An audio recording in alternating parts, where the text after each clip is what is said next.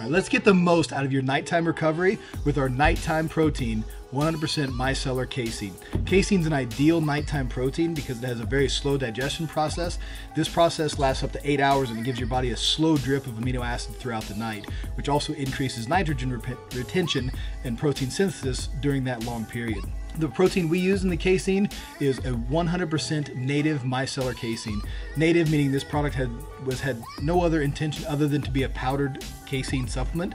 Uh, micellar meaning all five micelles are intact. To get that high quality of a casein, you have to use a low temperature process. So excellent protein to be taken at night.